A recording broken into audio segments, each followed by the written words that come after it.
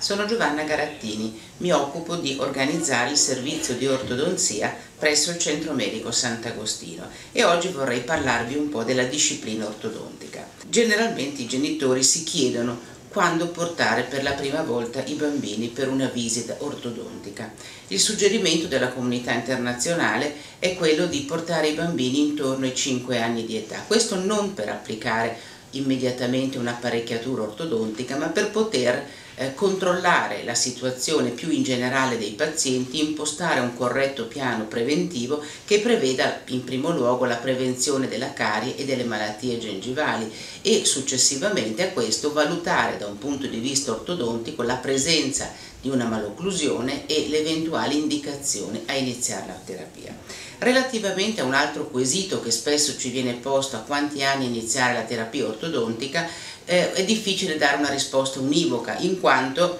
generalmente ogni malocclusione prevede dei tempi di trattamento specifici per quel tipo di malocclusione. Eh, quindi eh, il fatto di dire, o come si riteneva corretto in passato, tutti i casi devono essere trattati il più precocemente possibile, ad oggi non trova più il sostegno della ricerca scientifica. Quello che noi sappiamo è che le tipologie variano e varia quindi l'approccio terapeutico, in ordine ai tempi di terapia, alla tipologia delle terapie e soprattutto con un grande sguardo alla prognosi, quindi alla possibilità o meno di portare a casa un risultato che sia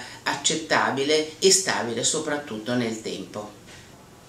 Parlando di idealità dei tempi di trattamento occorre specificare a che cosa ci riferiamo. Ideale è una terapia che rispetti il criterio di efficacia ed efficienza, quindi ottenere il massimo del risultato con un minor dispendio di tempi, di energie e di collaborazione. A questo riguardo un altro quesito che ci viene posto è con quali apparecchi, esistono apparecchi fissi o apparecchi rimovibili e la scelta non è casuale e quindi la scelta non può essere fatta dalla famiglia per il proprio figlio. La scelta dipende dalla tipologia di malocclusione. Facendo un paragone con la medicina, i farmaci curano determinate patologie e solo certe patologie, quindi sono specifici. I nostri apparecchi sono specifici per determinati tipi di malocclusioni, quindi l'intercambiabilità degli apparecchi ortodontici è praticamente impossibile, quindi per una determinata malocclusione sarà meglio utilizzare un apparecchio rimovibile e solo questo, per un'altra malocclusione sarà meglio utilizzare un apparecchio fisso e solo questo. Quindi la scelta è dettata dal tipo di malocclusione e non è una scelta che viene lasciata ai genitori.